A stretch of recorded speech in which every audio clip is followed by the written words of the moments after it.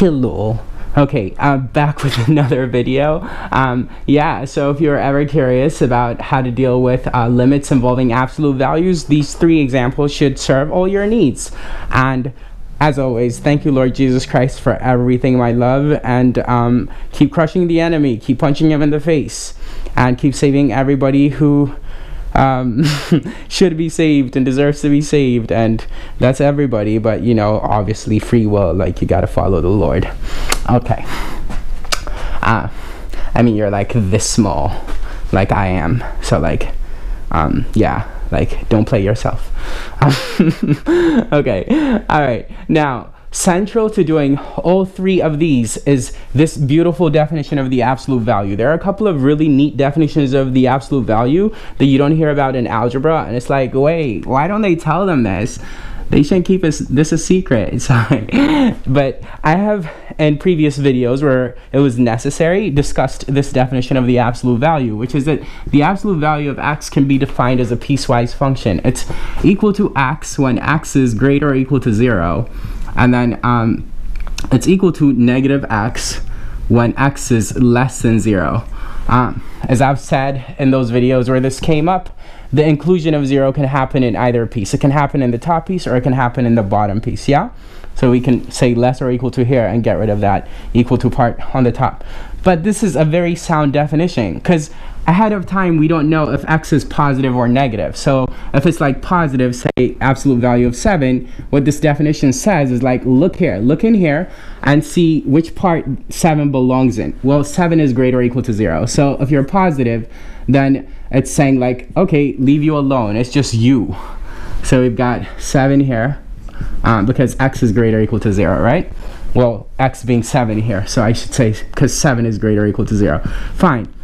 But what about if we had had negative 7 inside the absolute value? Because again, this x stands for any number, so it could be a negative number. Well, if x is negative, i.e. negative 7, then it would belong in this bot bottom piece because negative 7 is less than 0. So this absolute value definition tells us take the negative of x but x is negative 7, so negative negative 7 is going to be positive 7. Yeah? Ah, ah, this is cool. So this absolute value definition does work. All right, so what this means is that like we can now take care of the first two limits really quickly. Specifically, the first limit, this is going to be lim is x goes to uh, negative 2, and then uh, 2, well, um, minus, okay, uh, and then, well, we should first define uh, this function as a piecewise function. Sorry, I was eager to get it done. But we should first define this function as a piecewise function. So this function here, 2 minus absolute value of x over 2 plus x, notice it's going to equal, well, since it involves simply absolute value of x, this absolute value is going to break over 0, right? So it's going to equal 2 minus well, if x is greater or equal to 0, absolute value of x by what we said here is just x. So it's 2 minus x in the numerator. And of course, we got to retain this denominator, which doesn't have um, an absolute value. So that's 2 plus x. So this function is the same as this when x is greater or equal to 0. But when x is uh, less than 0, then it's going to turn into 2 minus a minus x right? Absolute value of x, remember when x is less than 0, it's negative x. So we get 2 minus a minus x in the numerator over 2 plus x in the denominator. Notice 2 minus minus x is 2 plus x here. Oh wait, 2 plus x here. 2 plus x over 2 plus x is 1. So see there. Now, um, as x goes to negative 2, it would be in this piece, right? So the limit is x goes to negative 2 of this since this negative 2 is in this part, we see is going to equal 1. Yeah? Okay, cool. So next up is uh, the second one. Again, we similarly deal with it, which is, oh, I was going to use blue, wasn't I? Let me use blue. Uh, so we similarly, similar, similarly deal with it using this definition of the absolute value. So we go like this. So let's first define 3x and then minus, or it's plus, sorry, plus absolute value of x over x as a piecewise function. Again, because this is simply the absolute value of x.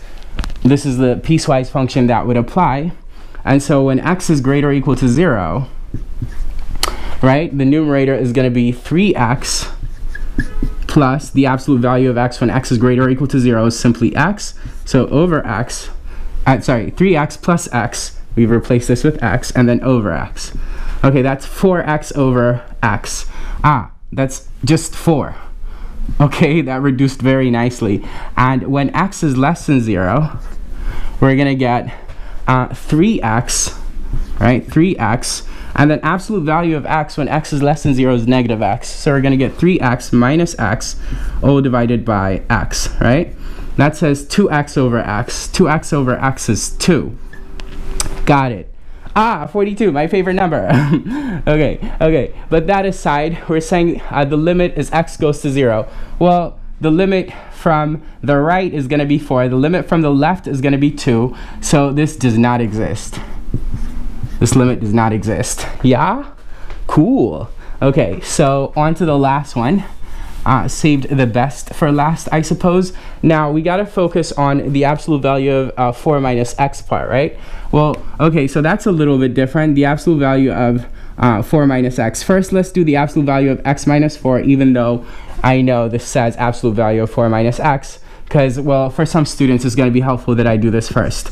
Okay, so when it's not simply the absolute value of x, what you do is you take the inside and set it equal to 0. So if I set x minus 4 equal to 0, I'm going to get x is equal to 4. What that means is that now we have to break the piece uh, with 4 involved as opposed to 0, right? When it's just absolute value of x, it breaks over 0. But now it's going to break over 4.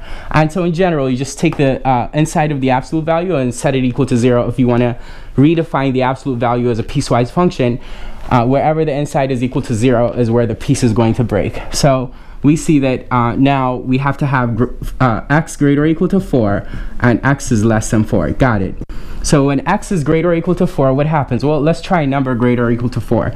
So 5. 5 minus 4 is going to be positive. I see. So the value of x minus 4, because all these guys are going to be just uh, positive outputs by using what happened when it's positive here, is just simply x minus 4. Yeah? Okay, cool. Uh, and obviously if we try like a number like 2, 2 minus 4 is negative, so then we have to take the negative of this. So it means that in this part we'll have negative um, x minus 4, right? Okay, cool. Uh, which is obviously uh, negative x plus 4, which is really 4 minus x. But, but, but, we'll leave it like that for now because, because we're going to come here and do uh, this a similar thing with redefining this uh, 4 minus x absolute value. So absolute value of 4 minus x, right, is going to equal, uh, well, again, we take the inside and set it equal to 0. Ah, we see that we still get x equals 4. So the piece, just like that one, breaks over 4. So x is greater or equal to 4, and then x is less than 4, right? Okay, but, but, but, but, but, but, when x is greater or equal to 4, what we're going to get, like say 5, I'm going to get 4 minus 5 is negative. So this time, this piece is the one that has to be uh, the negative of the inside, right? Like, so the negative of the inside was the bottom piece here. It was the bottom piece there. Uh, but like, clearly, if I plug in a number that belongs in here, the inside is going to be negative, so I have to take the negative of it. So negative 4 minus x is what I'm going to write over here. And in this piece, well, it's just simply 4 minus x, right? So I write 4 minus x. Got it. Got it. Cool. So uh, with this handy, we could deal with this now, yeah? Okay, in fact, with Jesus handy, we can deal with anything. Anything they want to throw at us. They're going to break themselves trying to break us. Okay, um, all right, so this here. So uh, well, I'll put the limit, but first let's define the 4 minus x over absolute value of 4 minus x in here, right? So this is going to equal, again, because this is going to break over 4, this whole thing is going to break over 4. So when x is greater or equal to 4 and when s, x is less than 4, right? That's uh, the pieces. Got it.